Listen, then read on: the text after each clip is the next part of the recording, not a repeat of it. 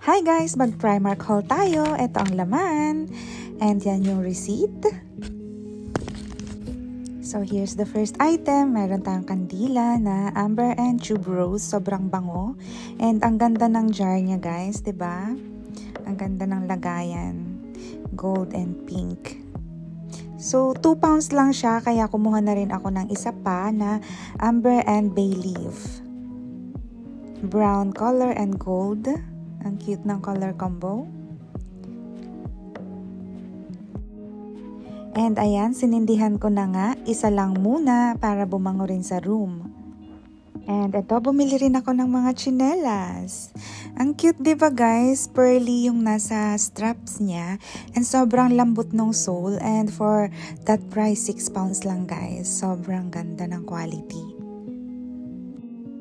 So, ayan, makikita niyo yung detail niya, guys. ba diba, ang ganda? Synthetic uh, pearl siya. Fox pearl, pero ang ganda ng quality.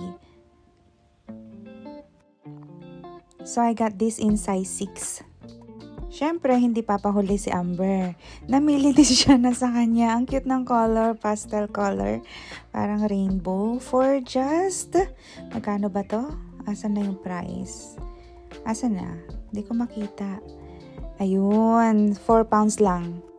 And meron pa akong kinuha. So, dalawa yung nakuha ko for myself. So, ayan siya. Parang it reminds me of Hermes na yung mga slippers nila, ba diba? Kaya kinuha ko siya. so, 7 pounds lang din. And for that price, ang ganda ng quality. Ayan, so, tingnan nyo naman, ginamit ko na, ba diba? Hindi talaga nakapaghintay. Sobrang lambot niya ring ilakad guys. So pasensya na rin kayo sa paa ko na pangit.